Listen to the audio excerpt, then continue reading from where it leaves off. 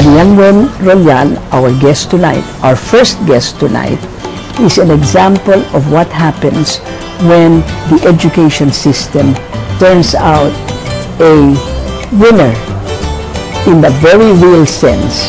Kailan ka sumali dito sa sa International Science and uh, Fair? Ang fair po naganap nung May 8 to 13 um, this year lang po. Okay, And that was in Phoenix, Arizona. all right. And tell me how you got there. Paano ka, you know, all of a sudden, itong estudyante ito from Cebu City National Science High School, all of a sudden, nasa Arizona siya. So bago po na umabot ako doon sa Intel ISAF, I needed to go through mga local po na fairs. So, Start with your own school. Yung eskwelahan mo, yes. nagkaroon ng school fair. Yes. Ano yung research paper mo? Itong, itong research paper mo. Yes. It's the same research paper. Yes. Okay.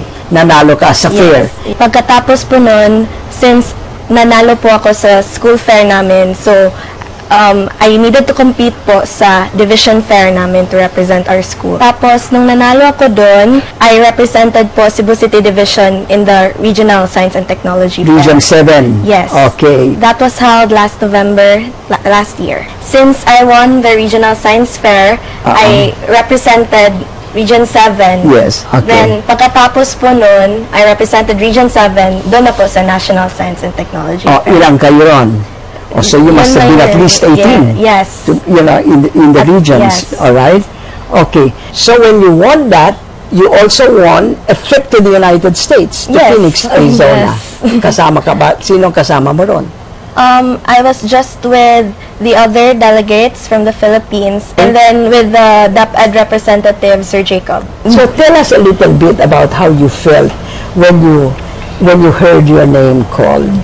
Actually, Uh-uh. um, the first thing that was called was my city. So it was Cebu City first, from Cebu City, Philippines. Ah. And then I wasn't able po to register na ako na po pala yun. So Ah. yung friend ko pa po yung nagsabi sa akin na, Uy, Aryan, ikaw yun, pumunta ka na sa stage. Sabi ko, oh, I was so shocked.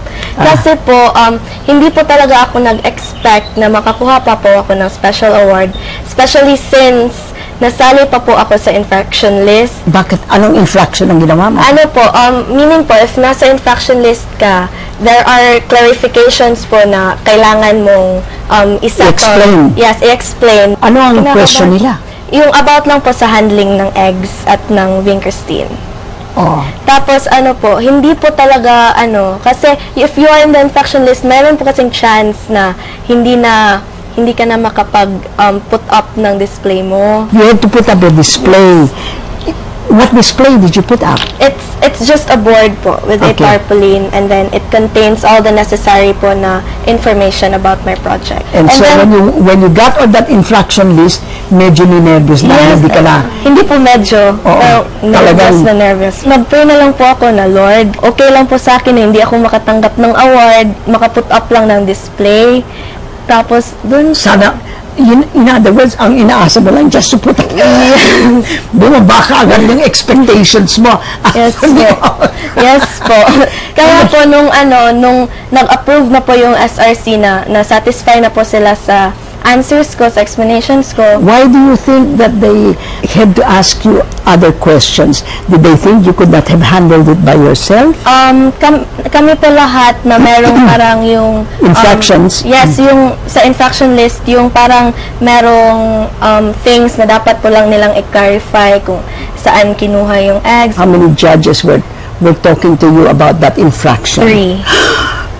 Yes. Matatandang matatanda. Not really. Ah. They just looked intimidating. Ah, really, ha? Yes. Okay, and you pass it with flying colors. Nung nananalo ka, anong sinasabi ng mga judges? Bakit ang papel mo ang ang gusto nila? Malaki po kasi yung impact ng paggamit ng isang malunggay na nasa paligid lang po natin. Tapos, meron po pala itong potential na mag-cure ng cancer, which is isa sa leading causes of death worldwide. So, um, marami po kasing mahal na mga commercialized cancer medicine, tapos meron pa po itong side effects. So, um, na, na-notice po talaga na nila itong project na ito.